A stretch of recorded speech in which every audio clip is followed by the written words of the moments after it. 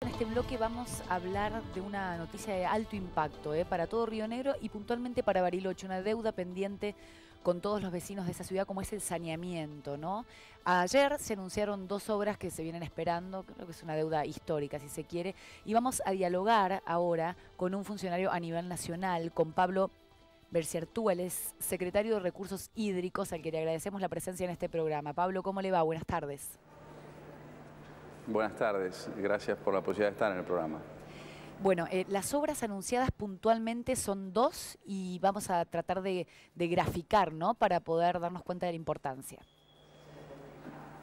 Sí, son dos obras efectivamente eh, claves, han sido priorizadas el año pasado, cuando comenzamos el gobierno, junto con el gobierno de Río Negro, con participación de la Intendencia también de Bariloche.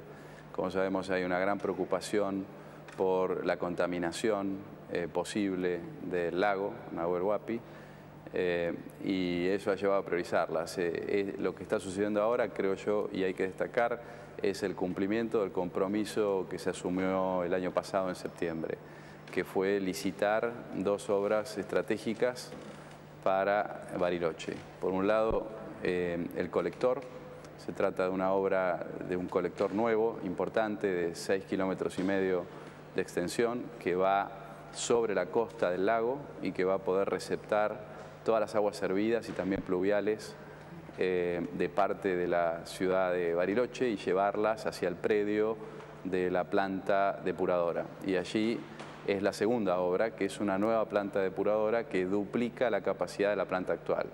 La planta actual tiene una capacidad para aproximadamente 90.000 eh, habitantes y con la nueva planta que vamos a empezar a construir en los próximos días, vamos a duplicarla, la vamos a llevar a 200.000. Es un horizonte Así que entonces... Estas dos inversiones... Sí, perdón, perdón que lo interrumpa. Es un horizonte que permite... Sí, adelante. Es un horizonte que permite proyectar esta obra a cuántos años, el beneficio se va a extender a cuántos años. Bueno, es una obra que está pensada para tener un impacto positivo concreto en los próximos, 20, en los próximos 30 años perdón, eh, para la ciudad de Bariloche. Es decir, lo que estamos logrando con esta obra es, por un lado, garantizar que se disminuye, se impide la actual contaminación. Eh, tengamos presente que no solo se va a mejorar la capacidad de tratamiento, sino que también la obra incluye un nuevo punto de descarga, es decir, se hace una nueva obra, un nuevo emisario, como se llama, submarino, que va hacia el lago, que va más allá, más hacia adentro del lago y que además va a volcar las aguas correctamente tratadas, que no es lo que está sucediendo al día de hoy.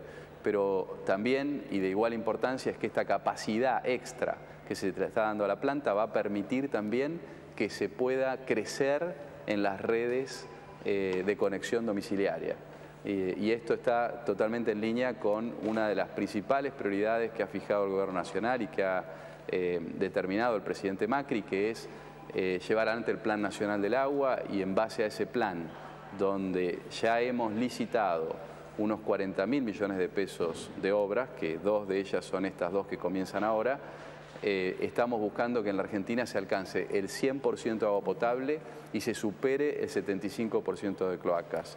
Hoy en la Argentina tenemos más o menos la mitad de la población sin cloacas, más o menos 20 millones de argentinos no tienen cloacas, parte de eso es Bariloche.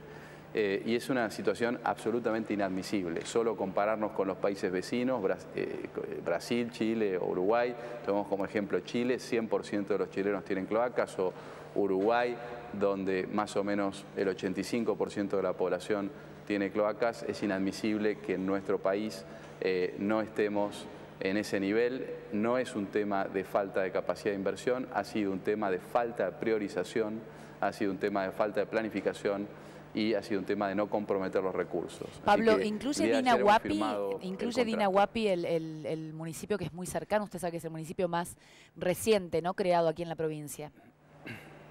Sí, lo sé, lo sé, y esta obra en principio no incluye Dinahuapi, la capacidad sí excede y va a poder en el futuro eh, ser considerado, pero no está en el objetivo de esta obra. Bien. ¿Qué monto se va a invertir? Quiero decirles también que la inversión total eh, lleva un tercer componente, nosotros dijimos dos hasta ahora, uno es la planta, el otro es el colector, hay un tercer componente que está acordado con la provincia y con la cooperativa que administra la actual planta, que además quiero destacar porque tuve la oportunidad de conocerlos y de visitarlos, que es eh, un equipo técnico de gran capacidad, de muchísimo compromiso. Me estoy refiriendo a la cooperativa que administra la planta eh, hay un tercer componente de obras que van a ser unas obras internas a la planta actual para levantar la capacidad de la planta actual. Estas obras, el colector tiene 18 meses de ejecución, la planta tiene 24 meses y en el mismo periodo estamos pensando en realizar este tercer grupo de obras al interior de la planta actual. Eh, la inversión total comprometida en los tres renglones va a ser en el orden de los 800 millones de pesos. Para estas dos primeras obras estamos hablando de un poco más de 600 millones de pesos. Y quiero destacar también el procedimiento con el cual se han hecho las licitaciones, que es el mismo que estamos haciendo para todo el gran plan de infraestructura a nivel país que ha significado nueve ofertas competitivas para la planta, seis ofertas competitivas para el colector y en promedio para estas dos primeras obras, el colector y la planta, eh, hemos logrado precios que están el 25% por debajo de los presupuestos oficiales, es decir, con un ahorro concreto eh, respecto a los recursos que hay que invertir. Yo el día viernes voy a estar visitando Bariloche y lo voy a hacer en consonancia con el inicio efectivo de las obras que van a ser ese mismo día. Bien, le agradecemos mucho la presencia ¿eh? y esta información. Muchas gracias a ustedes. Gracias por, la posibilidad de estar con ustedes. Dialogamos con Pablo Bererciartúa, él es el subsecretario de Recursos Hídricos de Nación. Dos obras importantísimas para Bariloche. El viernes comienza puntualmente eh, la obra con una inversión realmente millonaria.